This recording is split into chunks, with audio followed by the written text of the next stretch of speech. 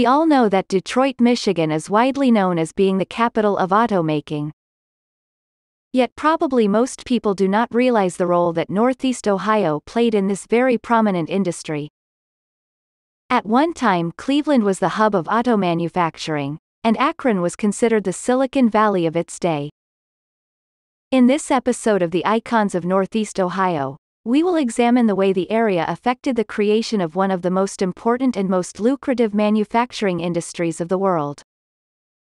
Before we begin, if you liked this video, please subscribe to our channel and click on the notification button, so you can be notified when we drop new videos, like this one. First, a brief history of the automobile. As far back as 1769, Nicolas Joseph Cugnot of France built the first self-propelled vehicle. He created this state-of-the-art vehicle for the military. Soon after, Carl Benz of Germany, got the patent for the first gasoline-powered vehicle, that was powered by an internal combustion engine. He received the patent in 1885. In the United States, the first gas-powered automobile was built by Charles Duryea and his brother Frank. They built and tested their automobile in 1893, on the Howard Bemis farm in Chicopee, Massachusetts. They used a horse-drawn buggy as the body of the auto, and placed a 4-horse-powered single-cylinder engine, onto that buggy.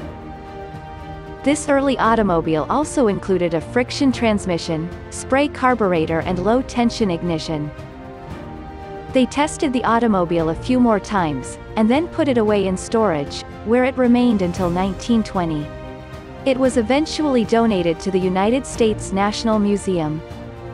By 1895, there were enough cars made in Europe that they held the first automobile race in France, called the Paris-Bordeaux Automobile Race.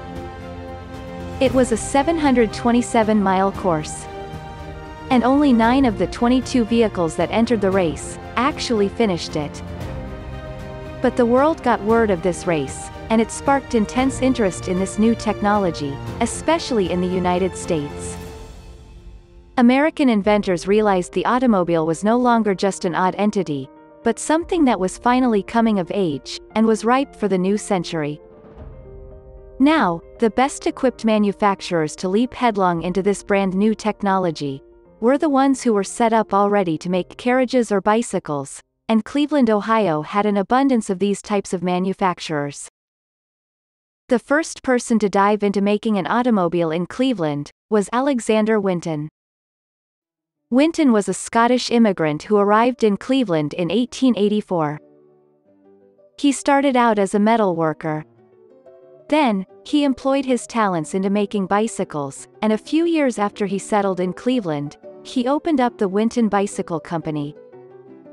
The standard bicycle of the time, had several elements that were very adaptable to the new automobile technology. This included the chain and sprocket drive, the wire spoke wheels, the tubular steel frames, rear view mirrors and the use of rubber tires. Winton studied how the Europeans built their combustion engines, and by doing so, figured out how they worked. He then tinkered around with his bicycles, incorporating everything he learned, and created his first automobile, which he had announced in the Horseless Age magazine in November 1896. One year later he created the Winton Motor Carriage Company. His first automobile had a two-cylinder, two-horse-powered engine. Winton then showed off his new automobile, by driving it from Cleveland, west to Elyria, Ohio, and back again. It went at a speed of 12 miles per hour, which for the time, was fast. The next year, Winton began producing a standard model automobile. He anticipated demand for the car. This was a new concept, as all the auto manufacturers at that point, had only made their autos, one at a time, and not in bulk, as Winton chose to do. And by all accounts, his gamble paid off. He sold his first standard automobile in March 1898, and sales were steady from then on. Because of the way Winton chose to sell his vehicles, it began the automobile industry, as a whole. Winton's standard automobile, ended the period of autos being a novelty item, that up to that point, were made exclusively for the very wealthy. They were now, part of the technological mainstream, of the day. And Winton was also a genius, when it came to publicity. He knew that showing off his auto in various ways, would bring more interest in his car, and, in autos in general. In 1897, he raced one of his cars, getting up to a speed of 33.5 miles per hour, which was incredibly fast for the time. Then in 1899, he made the first long road trip, going from Cleveland to New York City. He took with him a Cleveland plain dealer reporter, by the name of Charles Schenck. Schenck wrote exciting tales of their time on the road. When they finally reached New York City, they were welcomed by a large crowd of cheering fans. Over a million people saw Winton and Schenck in their car, on this famous road trip. Winton took another long road trip in 1903, this time he went from San Francisco to New York City. That trip took 64 days, and established both endurance and distance records.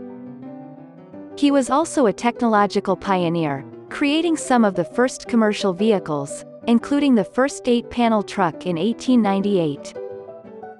The truck was so successful, that he created a commercial section at his Cleveland factory, in 1900. Winton was the first manufacturer to use a steering wheel, while the rest of the auto manufacturers were still using the tiller. He introduced the multiple disc clutch, the eight-cylinder motor, and also created a self-starter, which used compressed air. Winton later turned his talents and ingenuity from automaking, to making diesel engines for ships. But he forever remains one of the first real pioneers of the auto industry, and helped to make Cleveland the hub of automaking at that period of time. Another manufacturer from Cleveland that turned his original manufacturing company into an automobile company, was Walter Baker. Baker had founded the American Ball Bearing Company in 1895. He sold his products to bicycle and carriage manufacturers. In 1898, Baker decided to enter the automobile market, and organized the Baker Motor Vehicle Company. He exhibited his first electric car in 1900. The car used 10 batteries, but only had a 3-4 horsepowered motor. The batteries also needed to be recharged after 20 minutes of driving. It was initially, not the most practical vehicle on the market. Baker worked on his auto, and was soon able to install a more powerful motor, with longer-lasting batteries. But the Baker vehicle still remained a very slow car, with limited cruising range. Still, it was a fairly quiet car, and it did not require shifting gears, which with other cars, could be very difficult. Because of these features, it became the most popular vehicle for women, and was marketed mainly to them. But electric vehicles were not as popular as gasoline-powered automobiles. Because of this, Baker could not compete with other auto manufacturers, so he decided to merge his company with Rauch and Lang. He stopped producing automobiles for individuals, and focused on making his electric vehicles for industrial purposes only. Also, during this period of time, another type of automobile that was popular, was the steam-powered auto. The White Company of Cleveland, was one of the largest manufacturers of these type of cars. Since 1866, the White Sewing Machine Company, was a major manufacturer in the city of Cleveland. Thomas White came from New England to Cleveland, bringing with him, his knowledge of the sewing machine industry. The White Sewing Machine Company not only made sewing machines, but they also manufactured roller skates, kerosene lamps, machine tools, phonographs and bicycles. When the auto industry began rolling along in Cleveland, White started out making auto parts, adding them to the vast amount of other items they produced at the time. White's son Roland went to Cornell University. While studying there, he began to be interested in the auto industry. Roland's interest flourished even further, when after leaving Cornell, he went to work at the Baker Motor Company. He also traveled to Europe, to study how they made vehicles. It was there that he became a convert of the steam vehicle.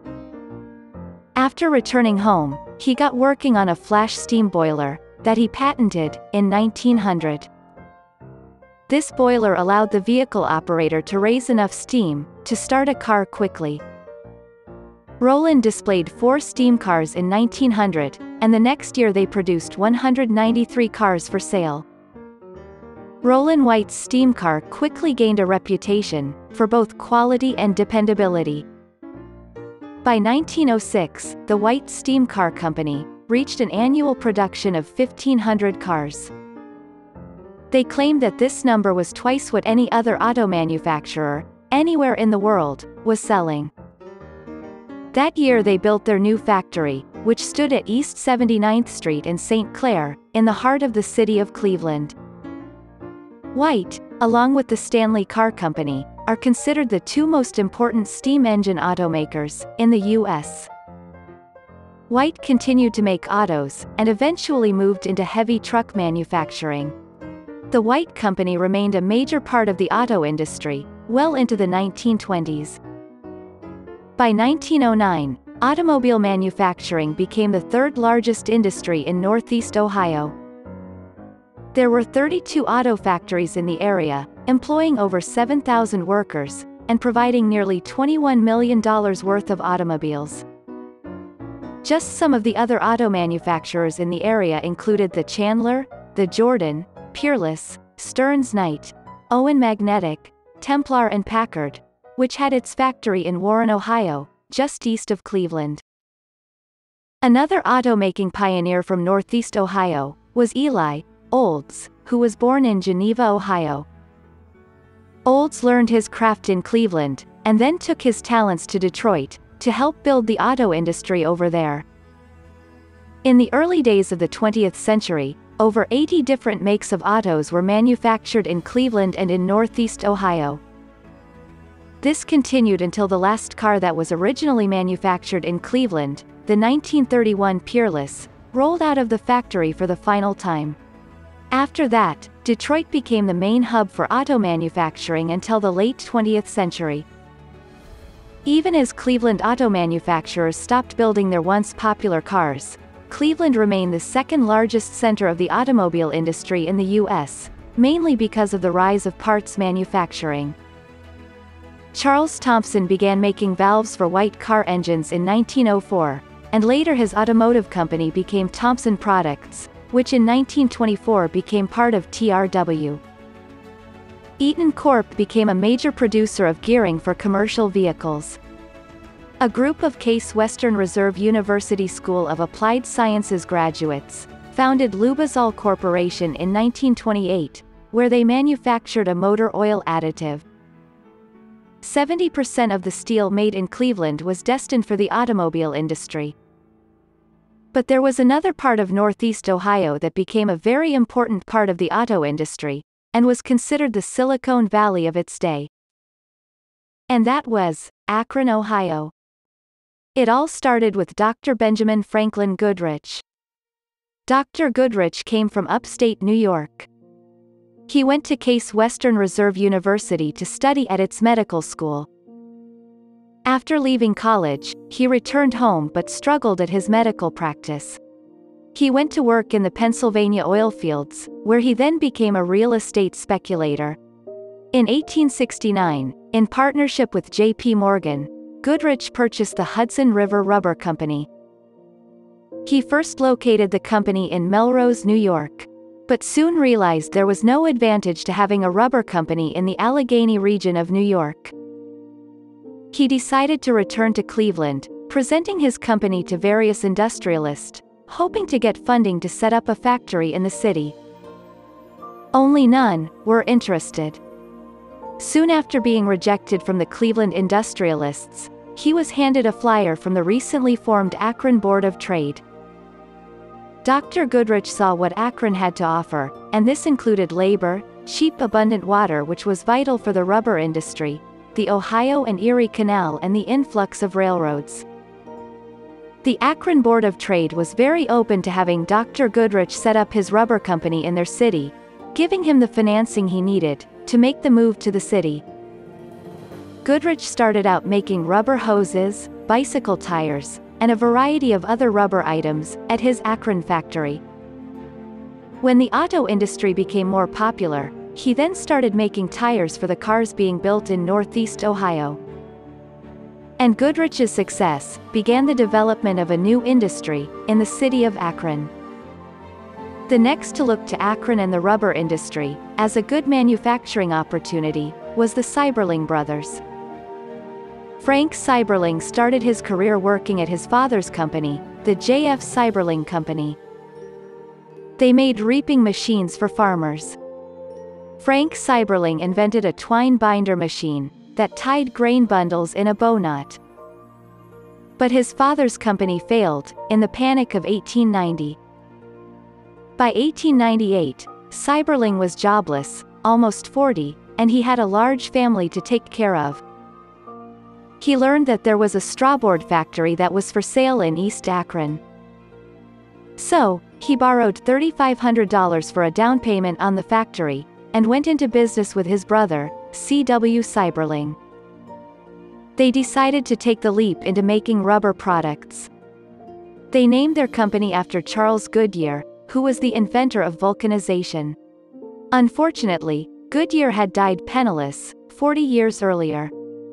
The Goodyear Tire and Rubber Factory would eventually become one of the largest companies in the city of Akron.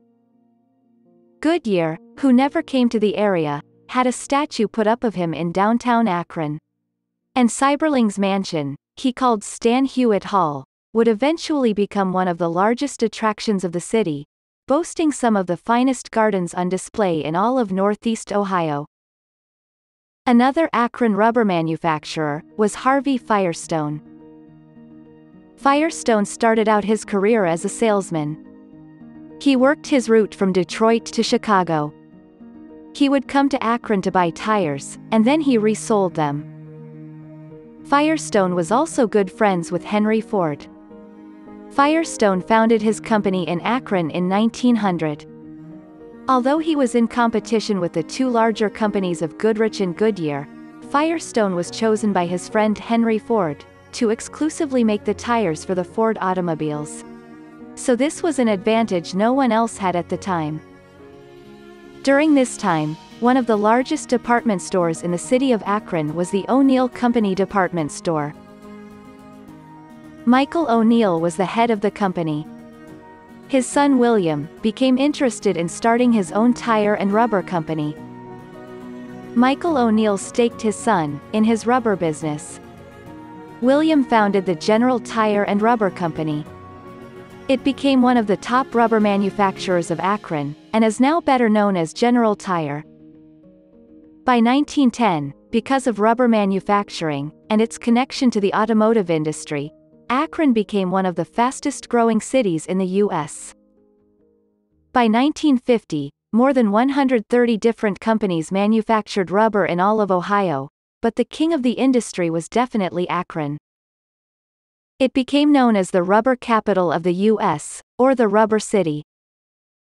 But, by the late 20th century, and into the 21st century, the rubber industry declined in Akron. Now, the rubber manufacturers of Akron only produce a small percentage of tires and other rubber products in the U.S. Yet the most famous person of Northeast Ohio, and the biggest winner in the automotive industry, happens to be John D. Rockefeller. Rockefeller was born in upstate New York. He was part of a large family that moved many times in his lifetime, before they finally settled in Cleveland. At age 16, Rockefeller became a bookkeeper. He also tried several different types of businesses, with various partners, all by age 20. He had an amazing work ethic, and was always a very determined, and very forward-thinking individual. In 1870, he formed the Standard Oil Company. At first he sold oil, mostly for use as a light source for the oil lamps of the day. This was prior to homes being lit by electric light. Then, as many homes started using electricity, and stopped needing to use kerosene as a source of light, the automobile industry was just beginning to flourish.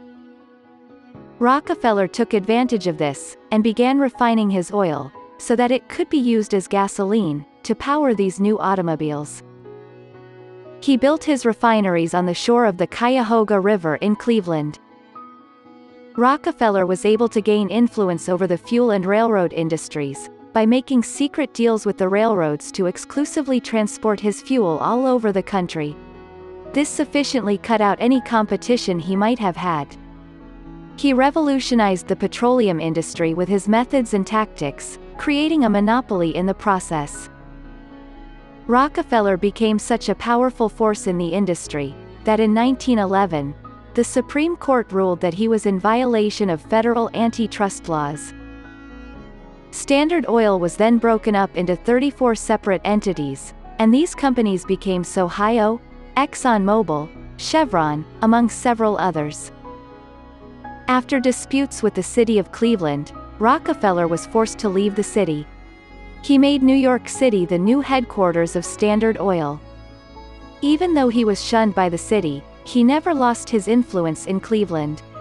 It still remains such a vital part of the city in so many ways, and is felt all over. Right after Rockefeller's death, his body was snuck back to Cleveland to be buried in a place of prominence at Lakeview Cemetery. He lies among his fellow industrialists and old friends. The automotive industry is still very dominant in Cleveland and Northeast Ohio. Though it is no longer the hub of automaking that it once was, it continues to play an important role. You can go to Cleveland, Akron, Warren, Youngstown, Elyria, and Lorain to see how the auto industry still impacts the Northeast Ohio area, and how vital it is to the economy and to the community. It is still one of the most important industries in the region. Thank you for watching the Icons of Northeast Ohio. We want to thank all of our subscribers. If you have not subscribed to our channel, please do so and also please make sure to click the notification button so you can be notified when we drop our new videos. Also please visit our Patreon page and become one of our patrons. We have provided a link to our page below. By being one of our patrons, you will help us continue to create more of these videos. As a patron, you will get special perks, including a shout out on future videos, and access to special videos that are for patrons only. If you have any ideas for any future videos on icons of Northeast Ohio, or icons of other areas of the country, please leave a comment in our comment section. We would love to hear your ideas, and you may even see your idea in a future video. Thanks again for watching the Icons of Northeast Ohio. Please look for more videos in the near future.